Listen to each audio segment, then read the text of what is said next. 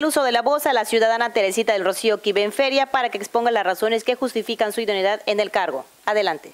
Muy buenos días, diputadas, diputados, miembros de la Comisión de Anticorrupción, Participación Ciudadana y Órganos Autónomos de la 18 Legislatura. Me presento. Mi nombre es Teresita del Rocío Feria. Cuento con formación profesional en la licenciatura en Contaduría egresada por el Instituto Tecnológico de Chetumal. También cuento una maestría en auditoría por la Universidad Nacional Autónoma de México, así como también diversos cursos, talleres, seminarios, diplomados y certificaciones, todos ellos debidamente integrados en el expediente de la convocatoria que hoy me traen ante ustedes. Les comento, mi idoneidad para ser titular del órgano interno de control de la Fiscalía General del Estado no solo obedece, bueno, es, no solo obedece a mi formación profesional, sino a que soy una mujer chetumaleña, creyente que las instituciones deben de velar con sentido humano por la ciudadanía y que la función pública debe de servir a la sociedad y no servir a intereses personales, lo cual he buscado proteger durante casi mis 23 años como servidora pública, siendo titular de diversos órganos internos de control, tanto independencias como entidades del Poder Ejecutivo. También he incursionado en el ámbito municipal como Contralora Municipal y actualmente en la Fiscalía General del Estado. En mi paso por todos estos años y estos lugares, he podido apreciar la creación del nuevo modelo del Sistema Nacional Anticorrupción y también he formado parte como operador del mismo.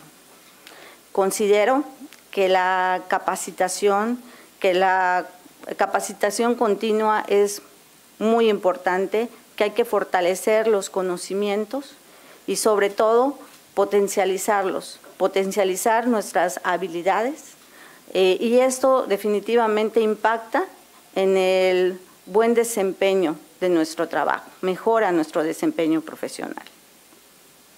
Por esto también soy miembro del Colegio de Contadores Públicos del Estado de Quintana Roo. Les quiero comentar que considero que eh, las personas que integran un órgano interno de control deben de contar con un perfil idóneo para ello.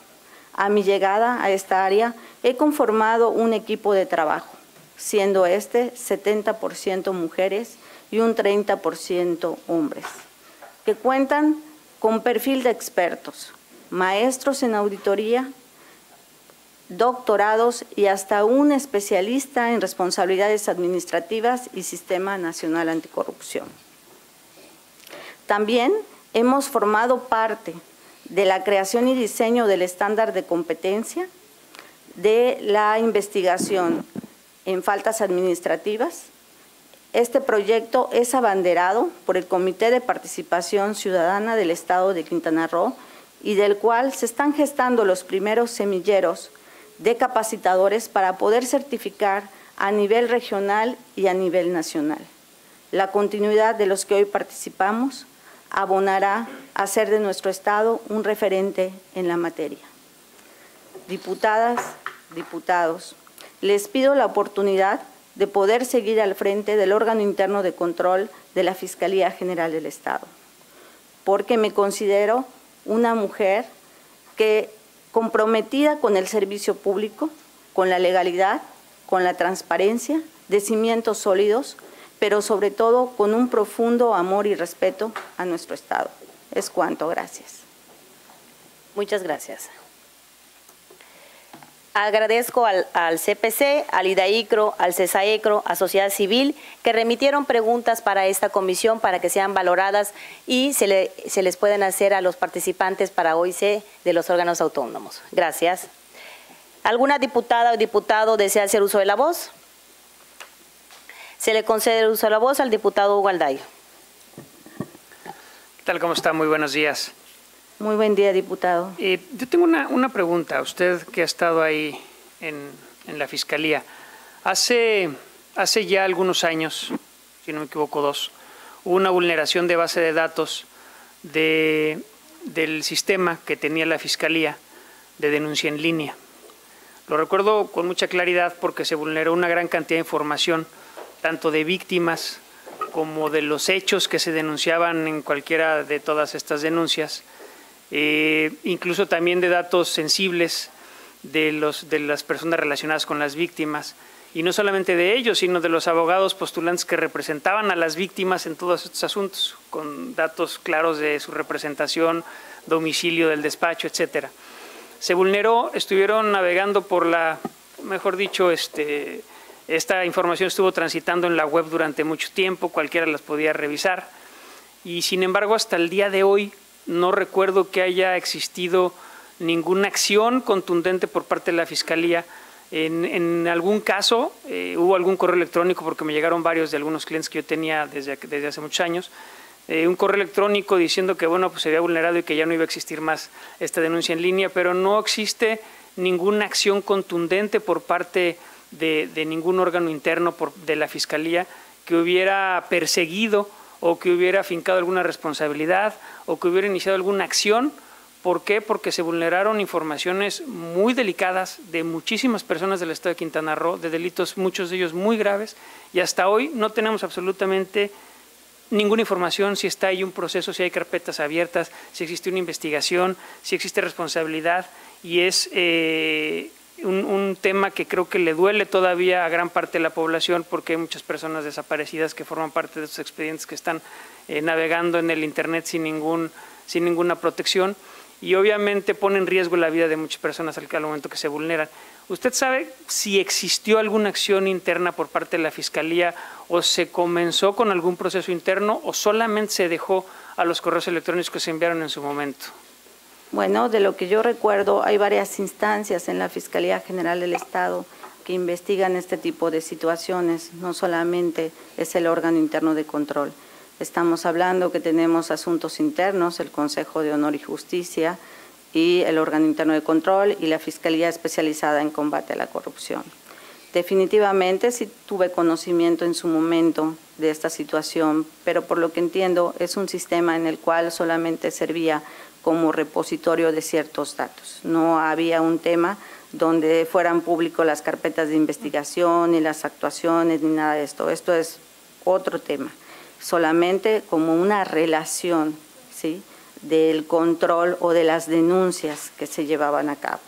Sé que en su momento estuvo llevando este caso, el tema de asuntos internos, ¿sí? y que se estaba viendo por la parte penal. En mi caso yo le puedo decir que todas las denuncias que nos han llegado y que vemos que tienen los elementos necesarios, se han llevado a cabo los procedimientos administrativos. Eh, he tenido varios señalamientos durante el tiempo que he estado.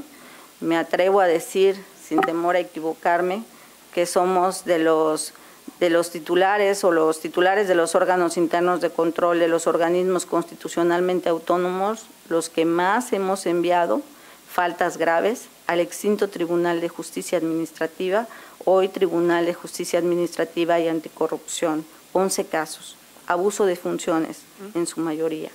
Pero igual no solamente hemos llevado a cabo esto, sino también hemos dado sanciones por las faltas no graves a esos funcionarios que se apartan de los principios de la ética, y lo cual puede ser consultado en cualquier momento, si ustedes así lo desean, en el portal de la Fiscalía, en el micrositio del órgano interno de control. Gracias. Gracias. Se le concede el uso de la voz a la diputada Jennifer. Muy buen, muy buen día, ciudadana Teresa. Muy buen día, diputada. Eh, mi pregunta va basada hacia el tema de transparencia y rendición de cuentas. Eh, ¿Usted cómo identificaría áreas de oportunidad dentro de la estructura para manejar los procesos de transparencia y rendición de cuentas?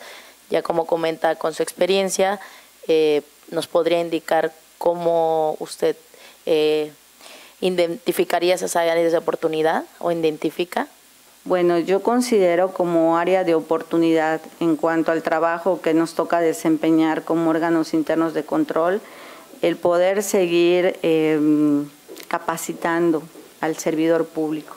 Creo que la capacitación al interior es muy importante tanto en temas de responsabilidad administrativa, lo que pudiera acarrear una conducta al interior, y también hacerles del conocimiento de todos los valores, de la ética, de las reglas de integridad que nos rigen.